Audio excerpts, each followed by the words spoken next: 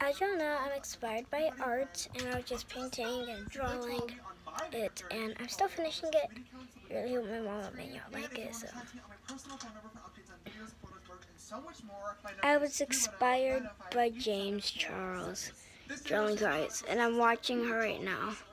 He's doing the kids challenge. Oh my god, really? No way. She's at, oh my, OMG.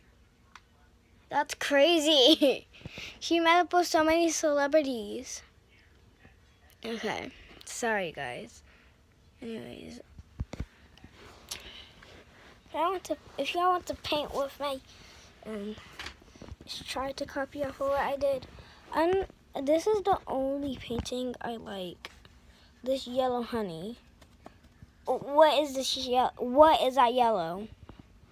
Honey, like, what is this yellow? What's yellow that just drew? Like, what is this? What is this? Some green, yellow poop? Like, honey, no.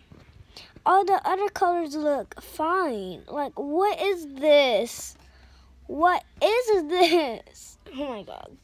I'm about to use um all the colors and heat might maybe water spray it and let the colors fade down can come all together. I'm putting the rainbow and then like yeah. The eye looks really good. I just have to like do some finish touches and stuff. Anyways. I'm just gonna do one more thing while I'm on here. Ew! What? What? Guys, look. That came from this you. I'm putting it right here. Where's it? Oh, no, no, no, not it. Not me showing it. Ew. What is that? Anyways. No, it's gonna dry out on my hand. Oh my god. What is F4G paint? My mom bought this and the paint's extremely cheap yeah, this eye will be done soon. I mean, the eye.